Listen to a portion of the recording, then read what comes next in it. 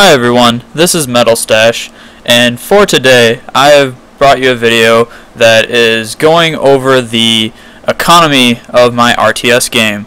Uh, I've gone over so far the player, the player's GUI, units, buildings, and now I'm kind of working on the flow of how each one of them reacts and uh, you know how they connect because that's kind of how uh, an economy uh, works where you know the player tells units to go get resources and then those units store those resources into buildings. And there's a whole flow and connection between those two. Uh, during this whole process uh, I know it's been a while since I've had a video but that's because I have been uh, busy doing other things and kind of I guess uh, having my mind go other places, playing games, things like that. I I don't know. Uh, I just haven't, I guess, uh, found the uh, drive to work on it in a little while, but I'm kind of trying to get back into it. I'm actually going to be going back to school in about a month, so um, that'll be interesting to see what happens there. Um, but back to the whole economy thing. Uh, I found a really cool way to uh, store uh, string names where you can search them easily and figure out if that uh, table or well I, I, just revealed it it's a hash table uh, can store keys and values and that key can be a string so you can store uh, things by a string index instead of normally just an integer index. So that is one of the cool things that I found. Um, the way I kind of found it though was uh, by playing a an alternative to Minecraft called Minetest. I started doing a couple of mods for that, and they use tables quite a bit. So I kind of learned from uh, programming in Lua uh, it's another programming language, so I'm kind of just branching out in different places and learning different things because I can take them to any uh, any place. So uh, let's let's get into the project because I think I've talked about other stuff long enough. Um, in the actual scene, we don't have a lot that is different. The only thing that might look weird is we have a strange sphere-looking thing. It's like a cone head. We got the aliens of the cone heads coming to invade the game. Uh, now, this is actually a uh, resource stockpile, or uh, in my game, it's going to be uh, hard drive resources. So it's going to be uh, bytes and kilobytes and stuff like that. So uh, your units will go out They'll gather those resources and bring them back to buildings that are capable of storing those resources. So what I've done is uh, in a building, there's a couple of things have been added. Uh, you can check the building if it is resource capable, and then you can define which resources it is allowed to store there. Um, they aren't necessarily stored at the building though. All it really amounts to is is this unit able to bring back this resources to this building to transfer it to the player to then use everywhere else. So it's not like if the building is destroyed, the the resources are lost because that would be really obnoxious.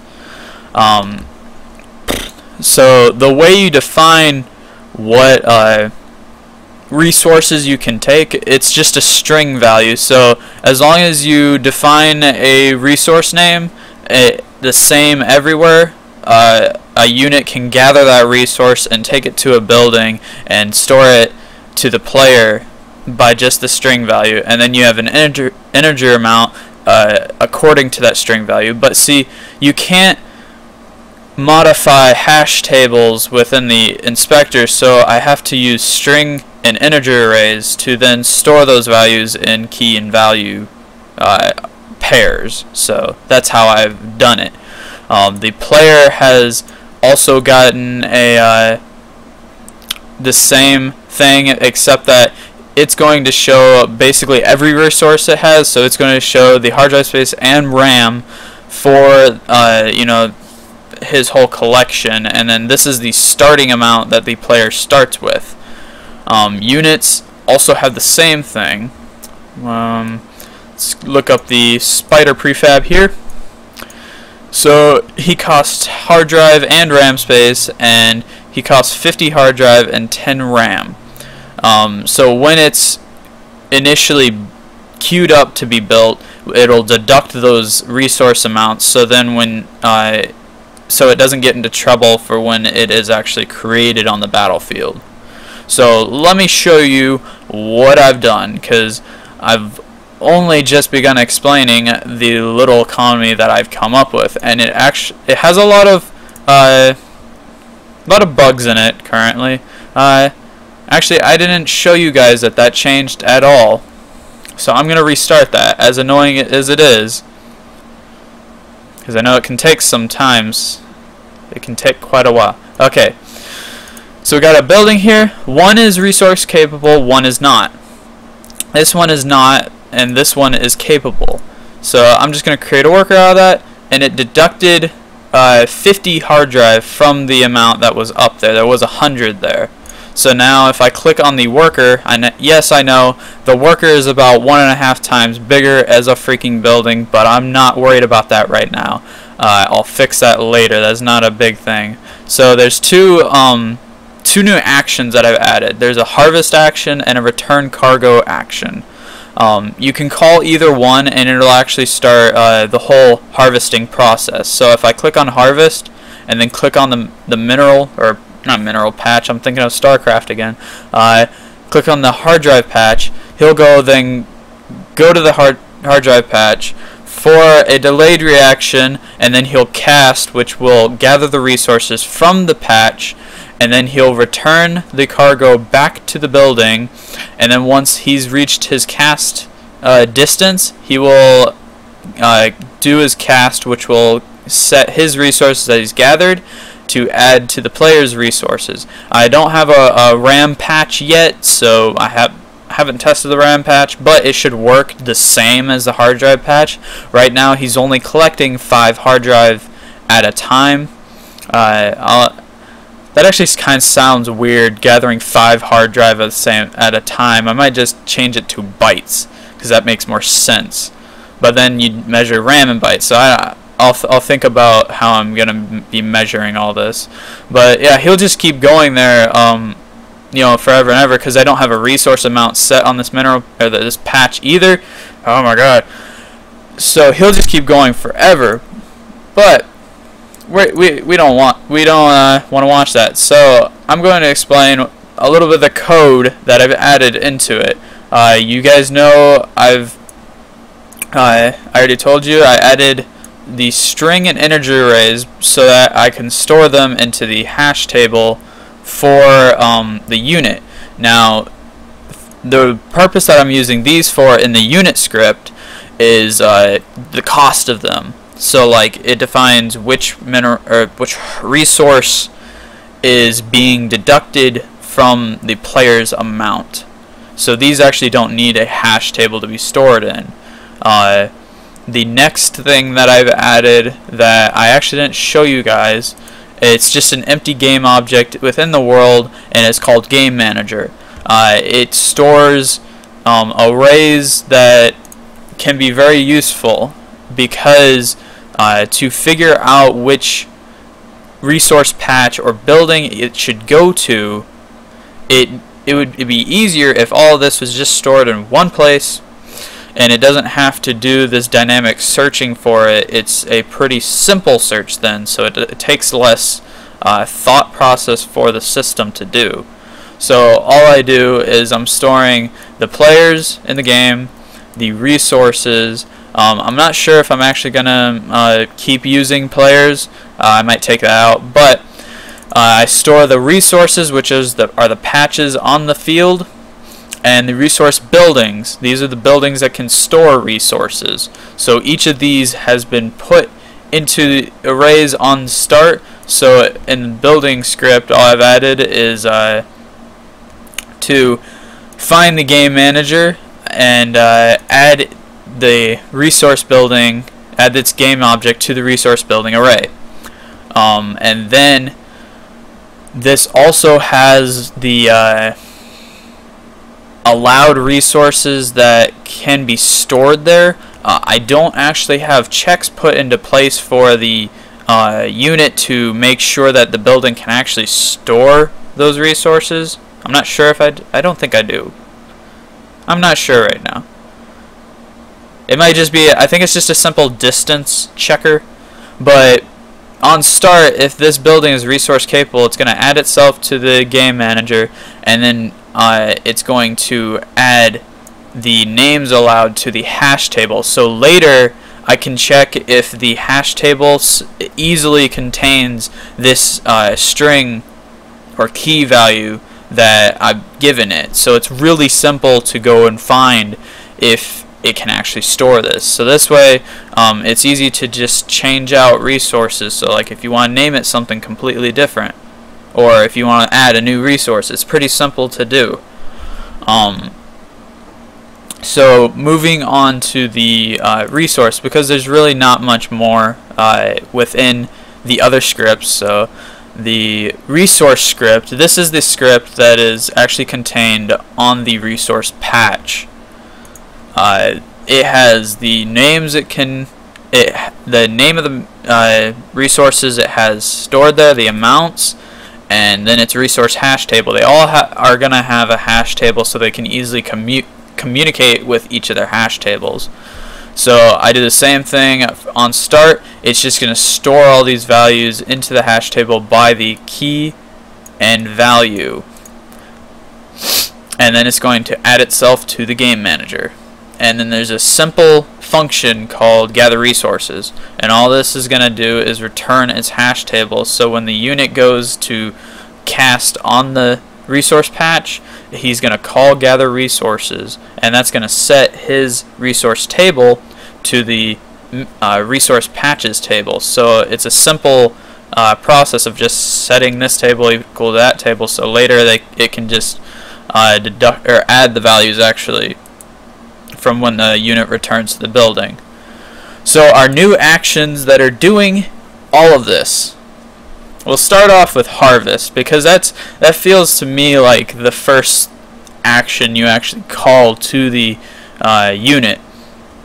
So it's just going to have a couple of variables set its cast range, uh, whether it should multicast, which it should. It should tell all the units that you have uh, with harvest on to. It should just tell all of them. It doesn't need to find the best caster.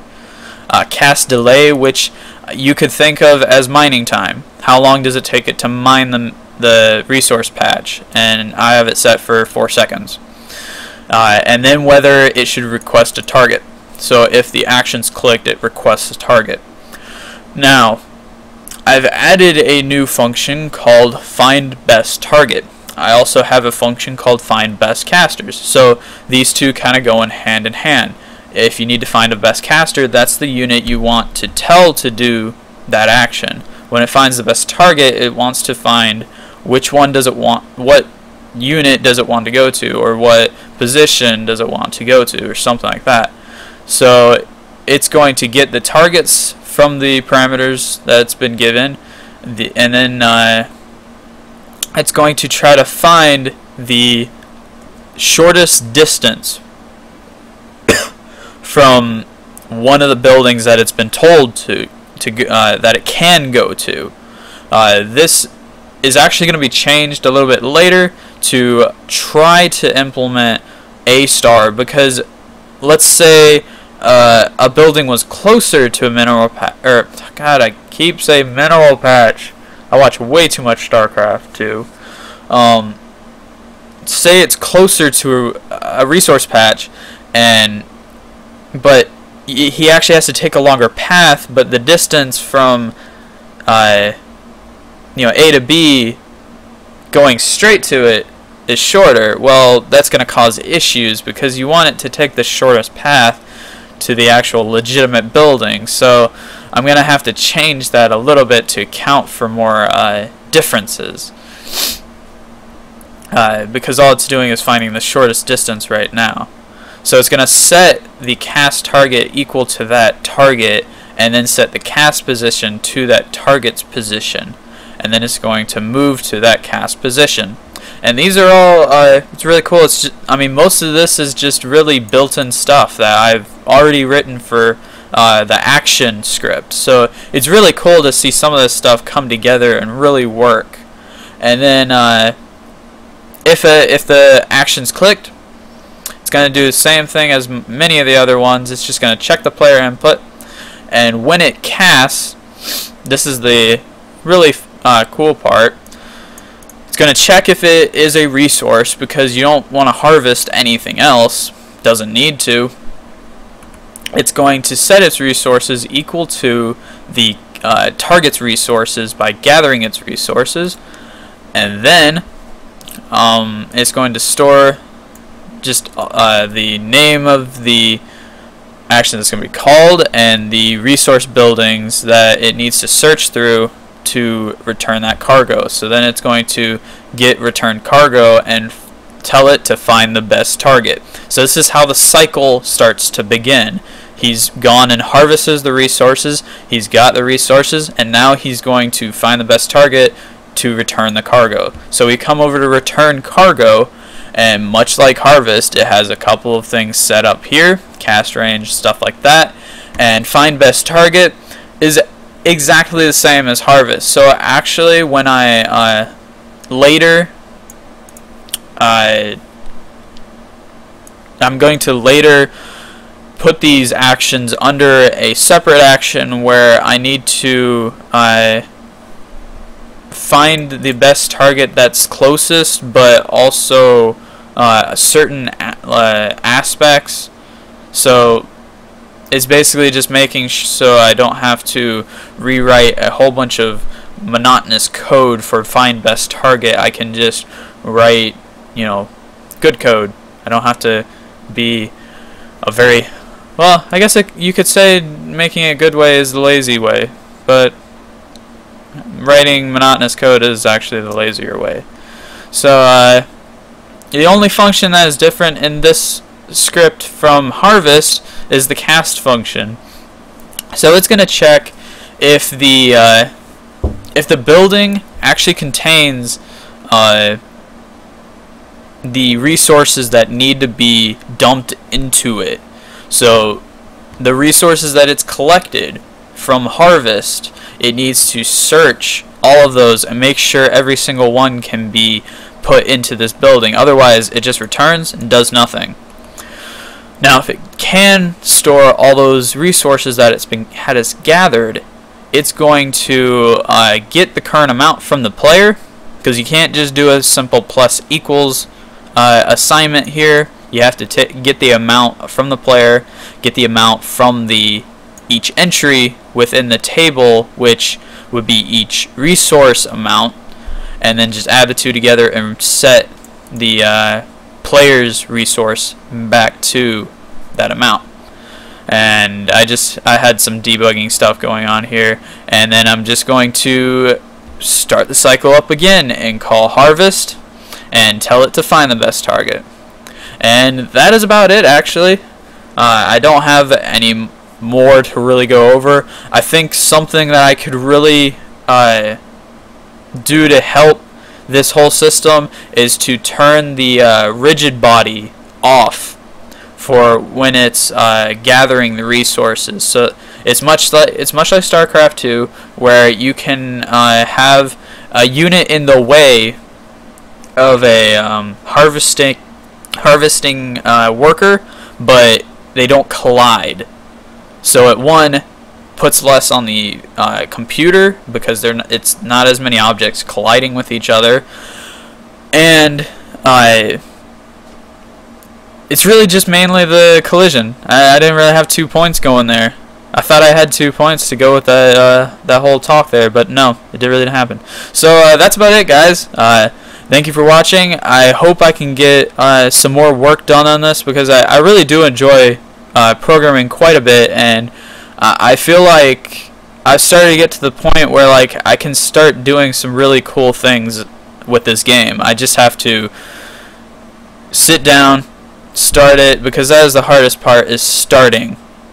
That has got to be the hardest part of everything, is just starting. Once you're in it, you're fine. You can keep going with it.